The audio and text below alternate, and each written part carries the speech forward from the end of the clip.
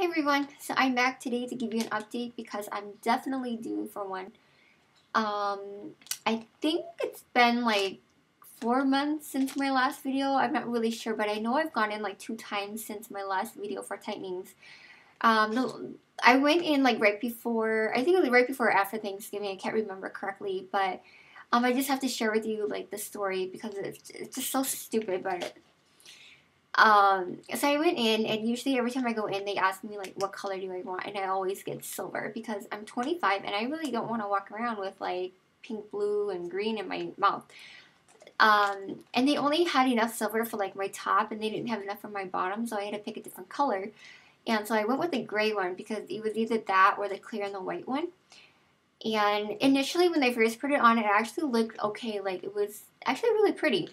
But I kid you not, within like three weeks, it started changing color and it started turning yellow, and it was just so gross and disgusting. Like, I had no idea that the gray one would change color like that. Um, I've had silver this whole time, and I have not had any issue with the silver like changing colors at all. But just with the gray one, like it was just so gross and I just wanted to let you guys know like if you have braces or if you're in the process of getting it like avoid the gray one because it I mean you would think that the gray wouldn't change color but then it did. And so I just wanted to share that with you guys.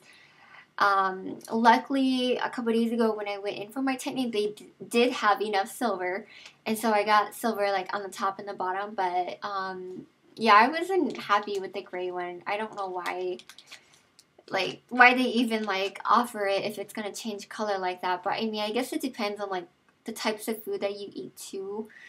And so, um, yeah, I just wanted to share that with you. But um, a couple of days ago, uh, they changed up my rubber band, so now I'm wearing the tortoise, which is supposed to be a lot tighter than the one that I was wearing before.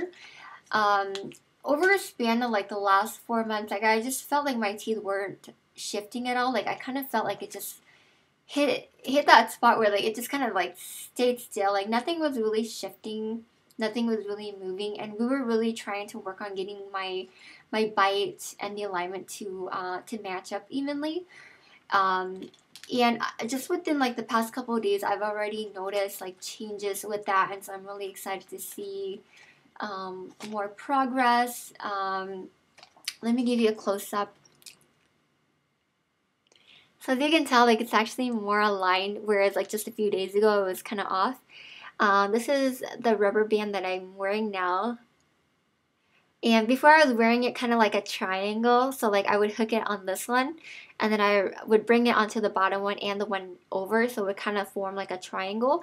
And now I only have to wear it just diagonally, which is really nice. Um, what else? Oh, and they told me that at the end of May, I'll be able to get my braces off, hopefully, if everything goes according to plan. Um, so when that time comes, uh, I will definitely film a video and let you know.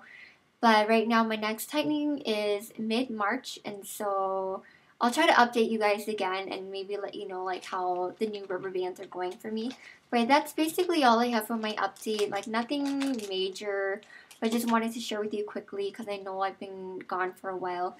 Um, if you have any questions or comments, comment below. Just let me know and I'll try my best to answer them. But thank you for watching and I'll see you next time. Bye!